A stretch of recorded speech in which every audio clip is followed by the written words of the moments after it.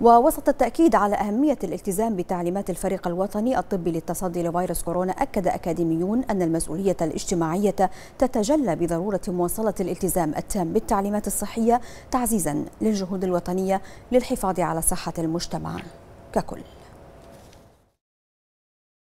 الجهود الوطنية لفريق البحرين بقيادة صاحب السمو الملكي ولي العهد رئيس مجلس الوزراء لاقت استحسانا وإشادة عالمية. لما قام به أبطال الصفوف الأمامية من تحدي لجائحة كورونا بكل كفاءة واقتدار وما بذلوه من دور في مواجهة هذه الجائحة بشهادة مؤسسات دولية وعلى رأسها منظمة الصحة العالمية. هذه الجهود الخيرة والكبيرة واجب علينا أن نقف لها احتراما وأن نتحلى جميعا بالمسؤولية الوطنية وأن نقابلها بمزيد من الالتزام بالإجراءات الاحترازية والتقيد بالتدابير الوقائية.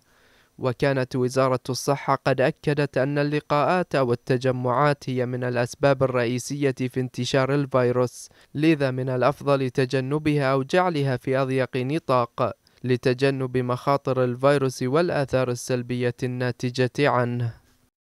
وتقع على عاتق كافة أفراد المجتمع مسؤولية الوعي بالحقائق والآثار المترتبة على الفيروس من جهة وضرورة تغيير السلوكيات الخاطئة خصوصا في شهر رمضان الذي امتاز عبر السنين بالتواصل الاجتماعي.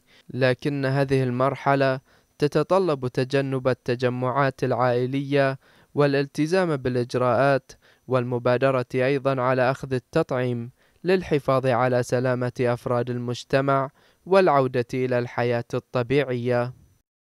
وتتطلب العودة للحياة الطبيعية أولا تقدير الجهود الكبيرة التي تقدمها المملكة فالمسؤولية اليوم هي عدم العودة لنقطة البداية. وعلى المجتمع أن يحقق التواؤم مع الجهود التي تبذل كل يوم. ومع الالتزام سنواصل تحقيق نتائج إيجابية متميزة.